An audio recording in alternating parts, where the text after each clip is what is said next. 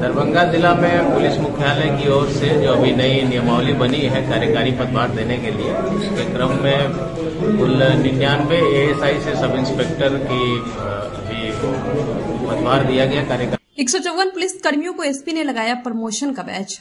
दरभंगा ज़िले के स्थानीय पुलिस लाइन लहरियासराय में पुलिस विभाग में दर्जनों पुलिस कर्मियों की प्रोन्नति के लिए वरीय पुलिस अधीक्षक अवकाश कुमार और जिला के नगर पुलिस अधीक्षक सागर कुमार के द्वारा प्रमोशन का बैच लगाया गया। इस संबंध में वरीय पुलिस अधीक्षक अवकाश कुमार ने कहा कि बिहार पुलिस मुख्यालय की ओर से नए नियमावली के तहत कार्यकारी पदभार देने के उद्देश्य से ज़िले में कुल निन्यानवे एएसआई से सब इंस्पेक्टर के लिए कार्यकारी प्रभार दिया गया है और पचपन पीटीसी से एएसआई के लिए प्रभार दिया गया है। मौके पर उपस्थित सभी पुलिस कर्मियों को डबल स्टार का बैच लगाया गया। बैच पाकर सभी पुलिस कर्मियों के चेहरे खुशी से खिल उठे। दरभंगा जिला में पुलिस मुख्यालय की ओर से जो अभी नई नियमावली बनी है कार्यकारी पदभार देने के लिए, उसके क्रम में कुल निन्यानवे एएसआई से सब इंस्पेक्टर की अभी पदभार दिया गया, कार्यकारी प्रभार दिया गया है। और पचपन एएसआई को हुआ है पीटीसी से एएसआई में।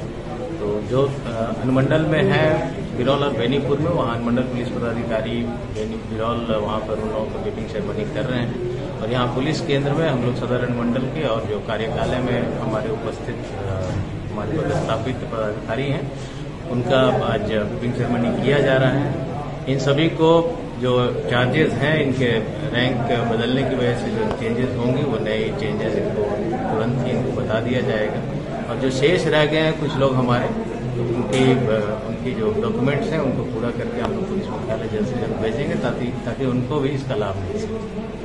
नए जॉब में ये लोग ज्वाइन कर रहे हैं, उसके लिए कोई प्रशिक्षण की भी सुविधा है?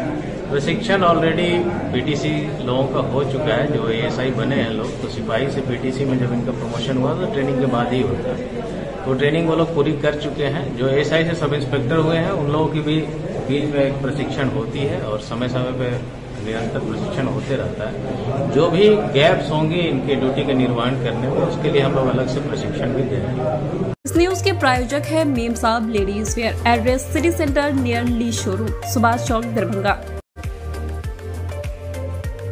नफीसा हज एंड उमराह ट्रेवल, हज उमराह जियारत। 16 अक्टूबर 2023 अमाउंट पंचानवे हज़ार। Delhi to Delhi 15 days Saudi airlines 10 नवंबर 2023 अमाउंट पंचानवे हज़ार। Delhi to Delhi 15 days Saudi airlines 20 दिसंबर 2023 अमाउंट पंचानवे हज़ार Delhi to Delhi 15 days Saudi airlines 15 जनवरी 2024 अमाउंट पंचानवे हज़ार Delhi to Delhi 15 days Saudi airlines package inclusion air ticket उमरा visa hotel insurance food round trip transportation by bus जियारत जमजम laundry documents required passport दो passport size photo PAN card इस बार हज उम्र का प्रोग्राम ये है। दो सितंबर को पहला ग्रुप जा रहा लगा पंद्रह दिन के लिए।